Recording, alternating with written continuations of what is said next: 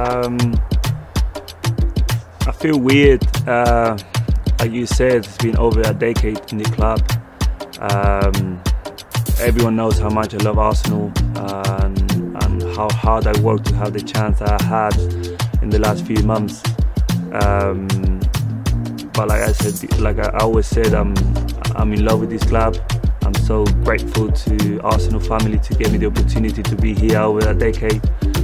And obviously, I wish Arsenal best of luck. I hope they they get back to Champions League uh, and win many more trophies because the Arsenal fan base deserve that.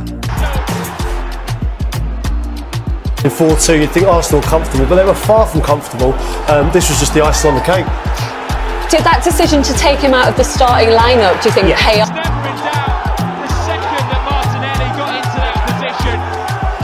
Could, because he looked like he was trying to take the mickey. Just get the job done. And I've never told my goalkeeper to go to score one goal in the 92 minutes because maybe I don't I don't know the data what is maybe one goal of, of, of 100 and maybe 20 times they are doing the, the transition and they are scoring 10 times goals and, and today it happened.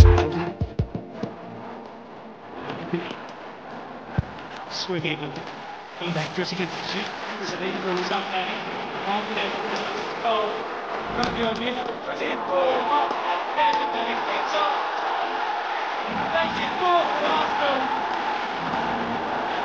I see the sweet us, eat the pen them, I see the pen them, I the sweet I see.